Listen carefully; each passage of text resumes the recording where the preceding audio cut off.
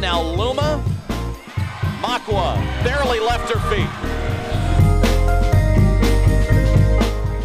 Loader got bumped. No whistle, but still a field goal make.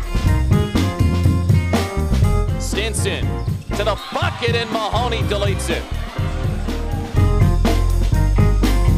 Gums for Bautista. Bautista, the scoop, and the hoop.